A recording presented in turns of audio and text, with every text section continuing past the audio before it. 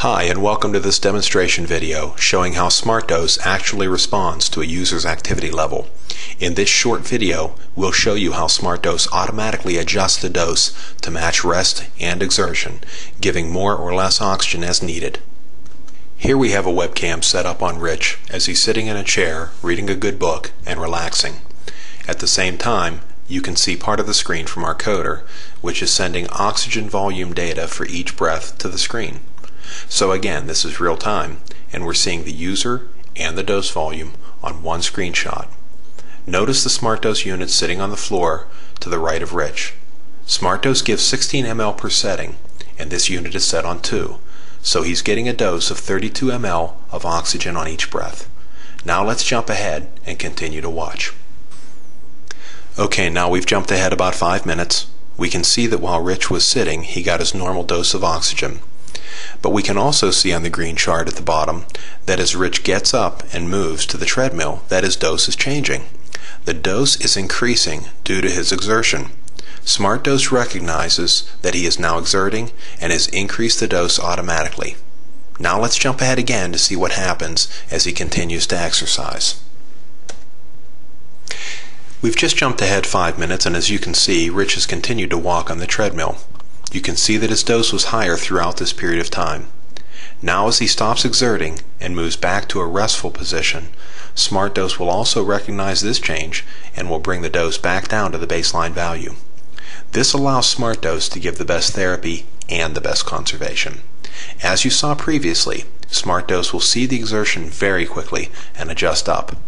However, on the transition to rest, the movement of the dose back down will have a little delay while the body recovers from the exertion. Okay, let's jump ahead yet again.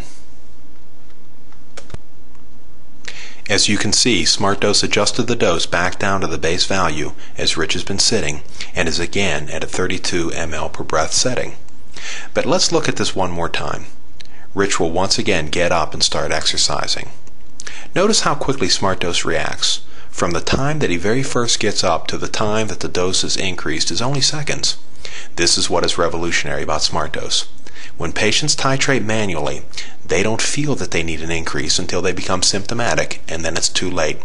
They are already desaturated and breathless. Let's jump ahead one more time. Once again, the doses remained higher as exertion is continued. As Rich gets off the treadmill and sits down, the dose will again come back down to baseline automatically.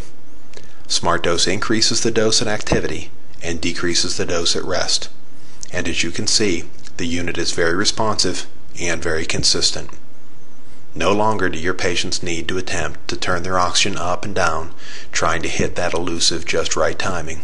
And no longer will your patients have to stop exerting because they waited until they were symptomatic to turn up their oxygen, too late to be effective, and no longer will your patients run through oxygen while sitting because they forgot to turn it back down when they sat down.